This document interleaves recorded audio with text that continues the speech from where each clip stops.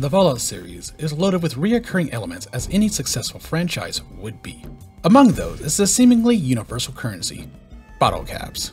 Yet, Bethesda's handling of caps have left some with a sour taste. Did Bethesda ruin caps?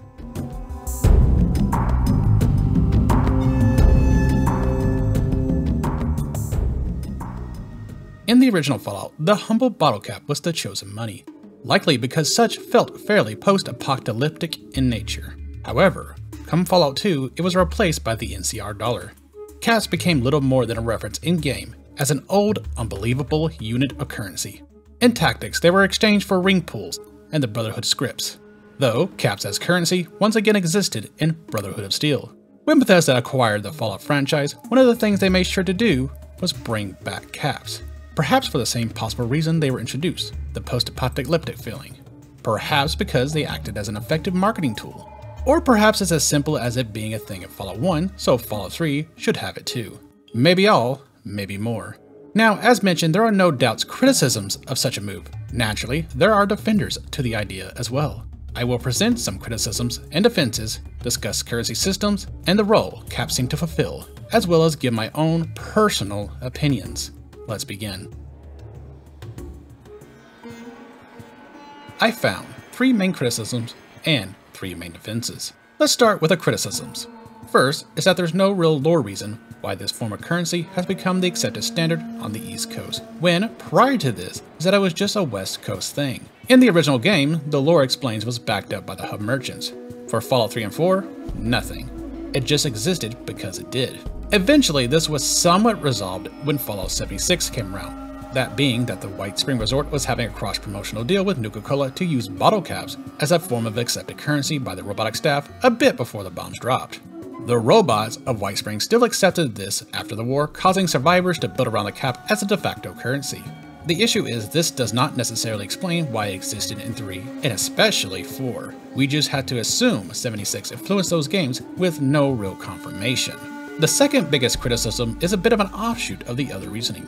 It just feels unbelievable that so many micronations would accept a single standard of currency. Some feel that these post-apocalyptic societies should have their own forms of money, if not focused on a bartering system.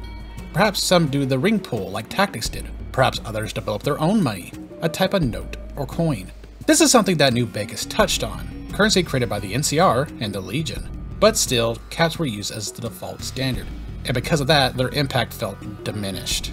Whether there wasn't enough time to complete the feature or it just didn't pan out well. Everything in the game was still valued by the cap, and at best, the rest felt like they were cosplay money. The third criticism is more about personal preferences, perhaps brought on by the last two. Some fans are just honestly exhausted of caps, much in the same way they're exhausted of the Brotherhood of Steel, Deathclaws, Enclave, and Super Mutants. Some fans feel like caps were forced into the iconic status by Fallout 3, since the only other game at the time that used caps besides Fallout 1 was the much hated Brotherhood of Steel, although the ring pull of tactics is a bit similar, making it a sorta spiritual successor.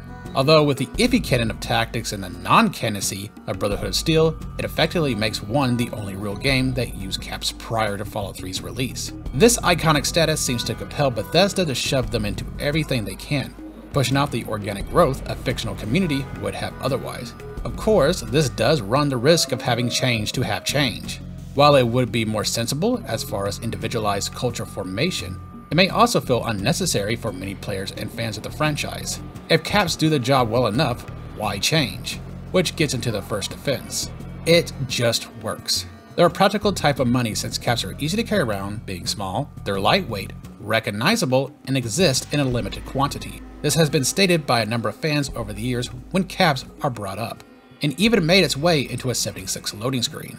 To get more to the point, they make a very good video gamey type of currency. Think of them as the stand-in for the much recognized gold coin that most fantasy RPGs have, from tabletop to video games, or septims if you want to go by Fallout's older adopted brother, The Elder Scrolls.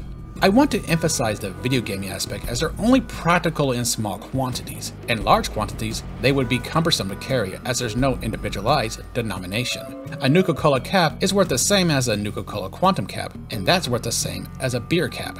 Carrying around 10,000 caps would be a challenge. But again, video game logic. We could also hold 10 jackets and 400 grenades in our pocket. Another rather commonly championed defense is that there's some basis in real life for what we perceive as an odd, relatively easy to find item becoming money.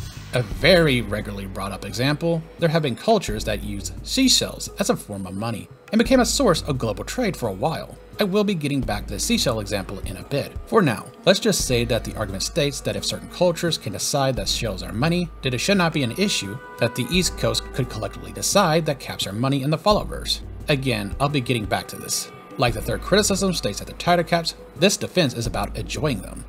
To these defenders, caps are just Fallouty. They have been around since the first game, they have an iconic status, and they give a unique flavor to the world. This is a purely subjective take, like Criticism 3 was, but still, personal preferences do take priority over some opinions despite rationality. There's different types of money, Depending on the source, it can range from 5 to 7 types. However, we'll be looking at 3 types, fiat, commodity, and representative.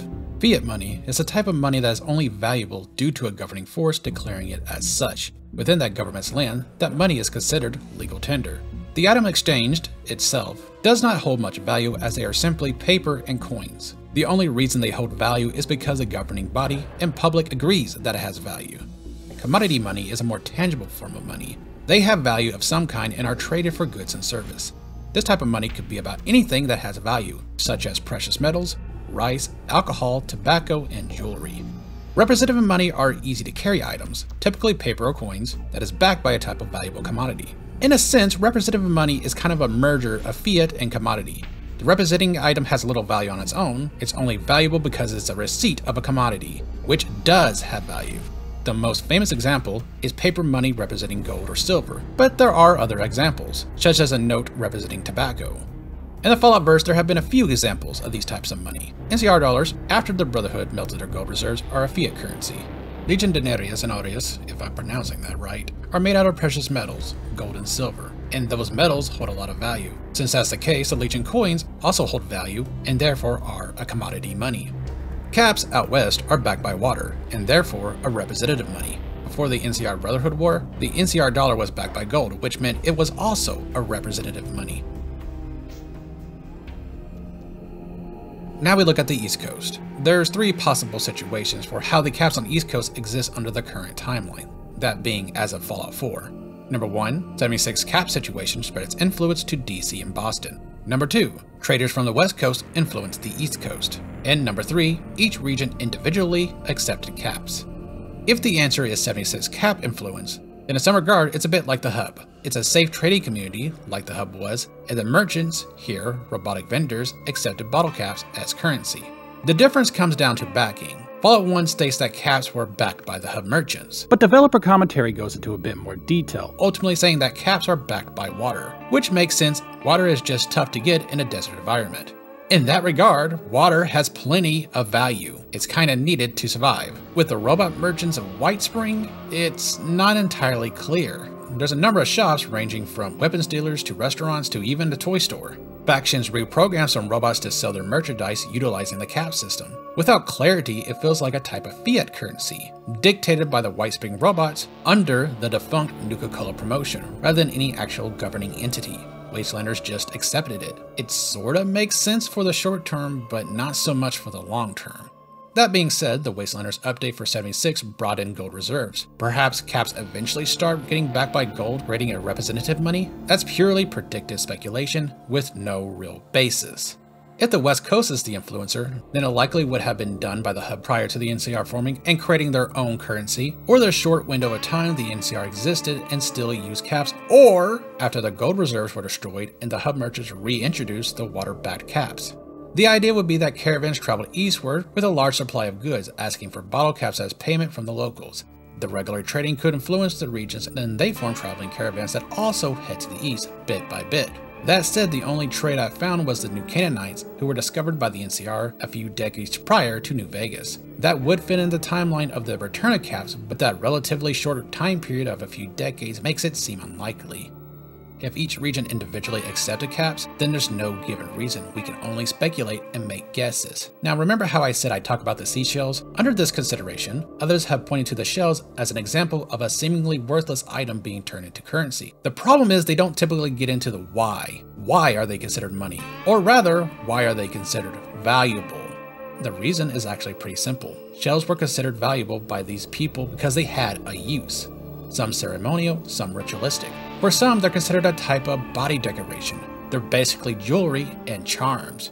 For some cultures, the cowrie shells represented good luck, fertility, and sexual pleasure, mostly attributed to the shape. I'll let you put that together. Some shells were deemed worthless by some countries and others valuable. What I'm trying to get at is these cultures had reason to value shells prior to them just being used for money. They didn't go, you know what, I'll give you three of these slug houses or some livestock. Shells are money now. No, the shells already had value, either decorative or superstitious, but value, and that makes them a form of commodity money. Fallout's caps aren't a commodity. A commodity would have to have some type of value put on it, whether they're valuable because they're usable, valuable because they're rare and rarity can raise personal social status, or valuable because of superstitious or religious reasons. They're not precious metals. Sure, aluminum steel, what bottle caps are made out of, would have plenty of use, but you could grab a lot more of that from just about anywhere. Post-war America is pretty spoiled for choice in that regard. Damn near anything can be scrapped. It'd be a pain to look around for these tiny little circles. You could get a lot more steel out of some random bed frame in a random home than you could bottle caps. So usability is out, except for the incredibly niche use of bottle cap mines. They're certainly not rare, and short of the Blue Star bottle caps that had an urban legend associated with them, there's not a lot of superstition surrounding them and we don't know if there's any backing for the East Coast caps, so they're probably not representative. That only leaves Fiat. Personally, I'm having a hard time imagining someone would be convinced to use caps without an assurance from a strong authority figure that these random bits of dented metal are worth anything. The reasons caps worked out west is because you could redeem them for water. So the only one that makes sense is the Whitespring situation. Did Bethesda ruin caps? You know, at first I was planning to go, it's a little messy, but not too bad. But man, as I was doing research and looking into this, writing down the script, I found myself going, okay, this kind of works if you look at it like this, but then there's this problem and this problem, talking in circles, my brain started to hurt. Oh boy. Yeah, it's kind of confusing if you think too hard about it. If you just accept it as is and don't look past the surface, it's fine, I guess iconic marketable Fallout thing. But if you care about things making sense in world, then it has a bit of an issue. Different cultures would come up with their own forms of currency, or just stay in a bartering system for smaller societies. Personally, I think I would like if each main region had their own money, a game-specific currency. That might be the best way to go about it, at least it would be easier than a complex system where every main settlement had their own. Maybe a post-Caesar Arizona still happened to use the Legion coins due to the Legion retaining some control rather than caps. Maybe Diamond City had their own currency, and it was so influential it spread to Goodneighbor, Although I imagine Bethesda would be tempted to make it baseball cards or gloves or something. Of course, this does forego the cap's iconic status, you lose a piece of easy marketing ability but it also does attempt to make a new one. That said, most people like caps and generally don't think too much about it. Maybe safer to just stick with them and never really elaborate on the in-game whys because I imagine only dedicated fans really care about that. But what do you think? Like caps? I'm tired of it. Want something new? Let me know in the comments below. A very special thanks to my channel members, especially the Members Thrice Over members like That Crazy Game Developer and Denny McPhee. If you wish to support me and join us as well, I'd be more than happy. Otherwise, like, share, subscribe, all that typical YouTube stuff. Thank you. Have a good one.